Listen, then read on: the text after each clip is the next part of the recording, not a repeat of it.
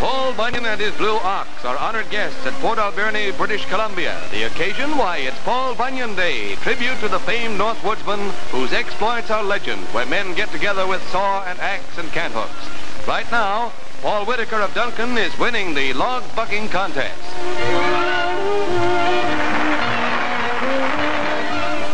Day, too. Her form is pretty good, but she's not done with that log yet. No, sir, she's getting a bit cross with this cross cut.